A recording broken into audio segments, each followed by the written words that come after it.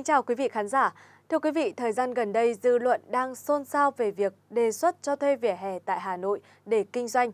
Theo đó, một số tuyến phố trên 5 mét sau khi trở lại 1,5 mét cho người đi bộ sẽ được thí điểm để cho thuê.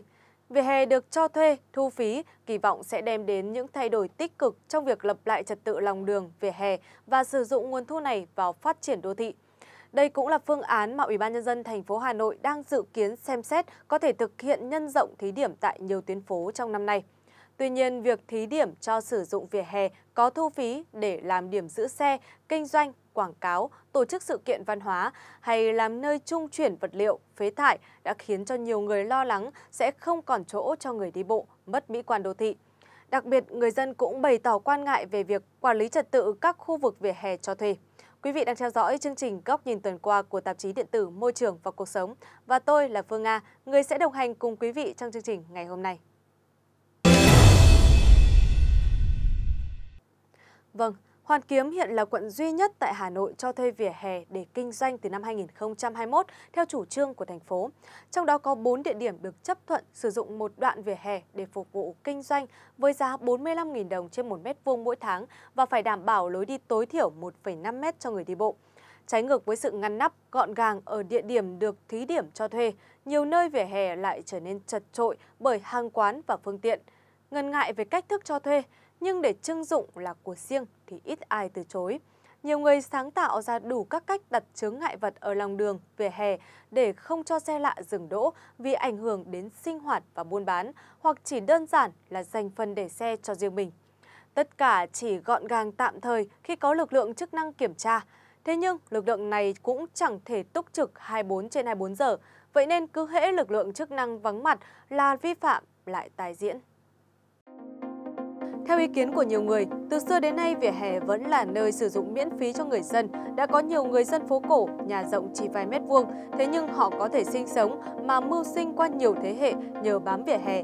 Đến nay, thủ đô đã văn minh, hiện đại, việc quy hoạch vỉa hè cũng như cho thuê vỉa hè để dễ dàng quản lý là hoàn toàn phù hợp. Nếu được thực hiện một cách bài bản, việc cho thuê vỉa hè sẽ góp phần thúc đẩy phát triển kinh tế. Theo thành phố Hà Nội, dự kiến việc quản lý lòng đường, vỉa hè gắn với nghiên cứu, định hướng thiết kế đô thị. Trong đó sẽ phân thành các khu vực nội đô lịch sử, trung tâm nội thành, vành đai 1, 2, 3 hay các vành đai 2, 5, 3 để ra từng khu vực, từng quận huyện. Hiện một số quận của Hà Nội đã đề xuất các tuyến phố có đủ điều kiện hạ tầng để thí điểm cho thuê vỉa hè. Vâng thưa quý vị, việc cho thuê vỉa hè để kinh doanh tại Hà Nội đang là một đề xuất được nhiều người quan tâm lúc này.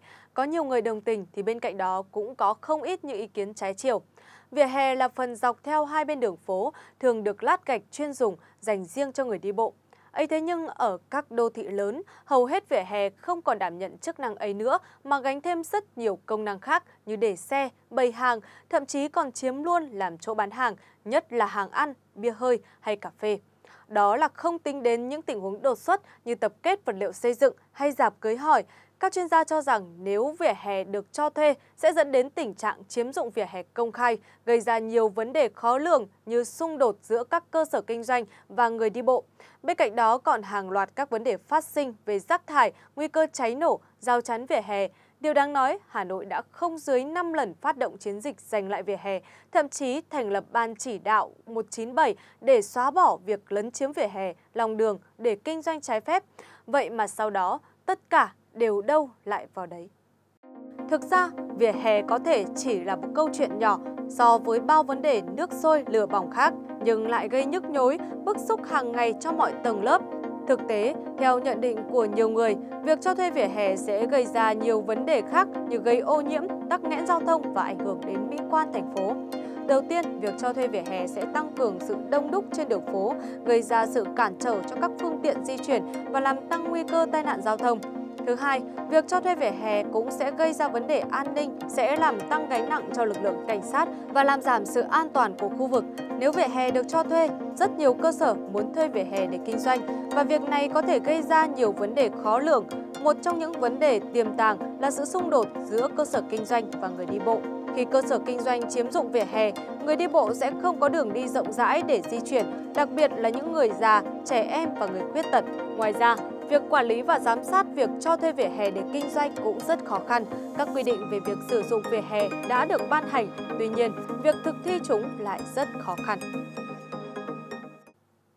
Thưa quý vị, từ lâu, đời sống sôi động nơi vỉa hè đã thể hiện nét văn hóa bình dân thú vị của người Hà Nội.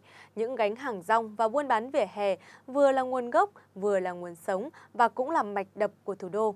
Vỉa hè không chỉ là sinh kế của người dân trên phố mà còn là của cả người dân các làng nghề thủ công khắp cả nước, là một bộ phận của kinh tế đô thị. Kinh tế vỉa hè ở Hà Nội không chỉ chứa đựng lịch sử, truyền thống mà nó còn là một không gian văn hóa và đã trở thành hồn cốt làm nên một Hà Nội không thể trộn lẫn. Nhu cầu thuê vỉa hè để kinh doanh được các chuyên gia giao thông đô thị đánh giá là có thực và rất lớn. Và với số tiền thu được từ cho thuê vỉa hè, chính quyền sẽ có thêm kinh phí để chỉnh trang đô thị. Việc sử dụng một cách công khai, minh bạch sẽ khiến vỉa hè được quy hoạch và quản lý ngăn nắp trật tự hơn. Người dân sẽ có ý thức giữ gìn trật tự, mỹ quan đối với phần vỉa hè được thuê vì nó ảnh hưởng trực tiếp đến việc kinh doanh. Họ cũng sẽ có trách nhiệm hơn trong việc bảo vệ vỉa hè, không để người khác chiếm dụng trái phép. Chính quyền sở tại cũng dễ quản lý hơn vì có thể thu hồi giấy phép và phạt những hộ vi phạm và vỉa hè được quy hoạch ngăn nắp, trật tự sẽ không mất mỹ quan, thậm chí không phản cảm bằng việc người bán hàng co kéo, răng giật từng chiếc bàn, chiếc ghế với lực lượng giữ gìn trật tự đi dẹp vỉa hè.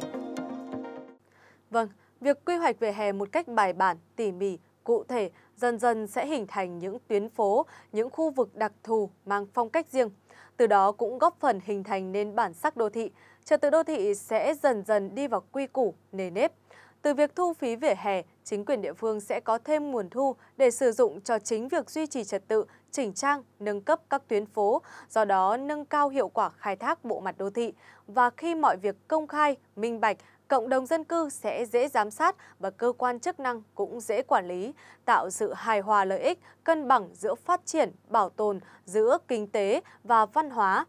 Những thông tin vừa rồi cũng đã khép lại chương trình Góc nhìn tuần qua số lần này. Cảm ơn quý vị và các bạn đã quan tâm, theo dõi. Xin chào và hẹn gặp lại trong các chương trình lần sau.